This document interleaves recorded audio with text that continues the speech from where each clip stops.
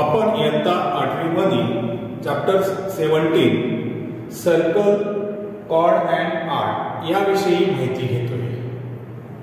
आज आपण arc corresponding to the कॉड ऑफ ए सर्कल म्हणजे वर्तुळाच्या जीवेच्या संगत कंस याविषयी आपण या ठिकाणी पाहणार आहोत.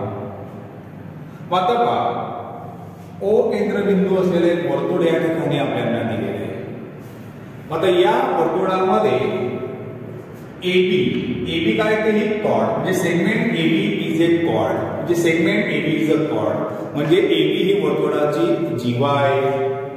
ओ केंद्रबिंदू असलेल्या वर्तुळाची.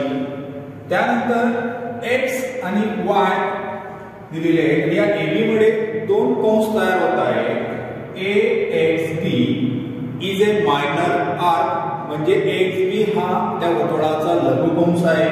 आणि A Y B is major arc हा मोठा भाग ए वाय बी हा वर्तुळाचा विशाल आहे.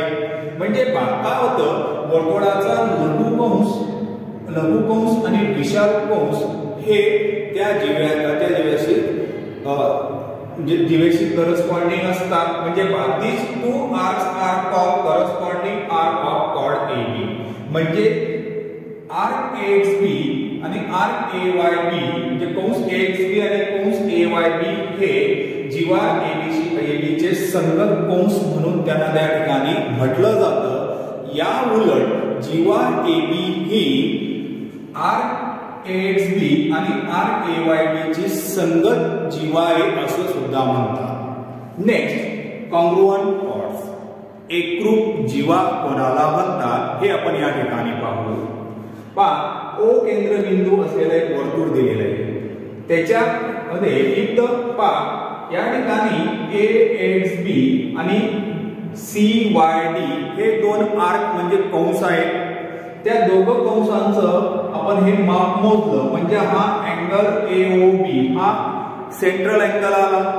आणि अँगल सी ओ डी हा सुद्धा सेंट्रल अँगल आला आणि दोघं मोजले. आणि दोघांची लांबी ही समान येते. म्हणजे पहा measure angle A O B equal to measure angle C O D म्हणजे किती आले या ठिकाणी? हे दोघं सारखे आले ते आले. आता या ठिकाणी अँगल एओबी हे एच बी हा आर्क येतोय त्याच्यामध्ये. आणि अँगल सीओडी मध्ये सी वाय डी हा आर्क येतोय.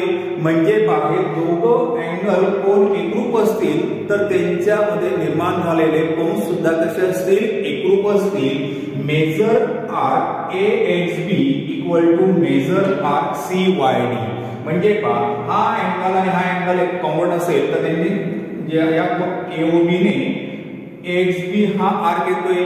त्याचं मग त्या समान येईल त्याचप्रमाणे सी वाय डी सी सुद्धा समान येताना दिसून येईल. म्हणजे पहा arc A S B congruent arc C Y D म्हणजे आपल्याला काय म्हणता येईल पहा if the measure of two arcs of a circle are same then two arcs are congruent म्हणजे पहा दिलेल्या वर्तुळामध्ये दोन कंसांची लांबी त्या ठिकाणी सारखी असेल तर ते दोघं कंस एकरूप आहेत असं त्या ठिकाणी